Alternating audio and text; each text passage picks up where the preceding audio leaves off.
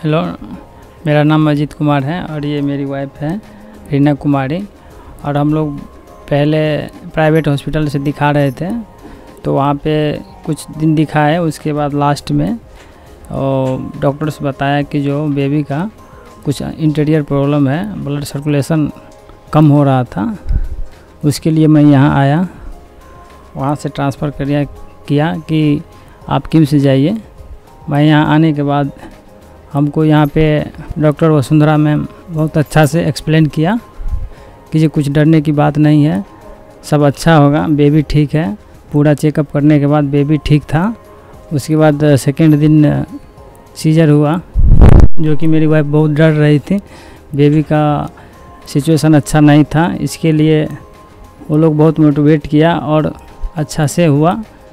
Last में C section हुआ। उसके बाद जब बेबी आया तो बेबी का भी बहुत अच्छा से केयर हुआ। पूरा चेकअप अच्छा है। अच्छा से यहाँ हुआ।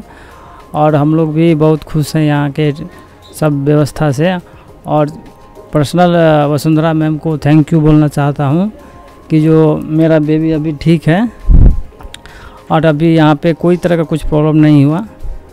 बस थैंक यू मैम। मैम, मैं आपको बहुत बहुत धन्यवाद कहना चाहती हूँ कि मेरा बेबी बहुत अच्छा से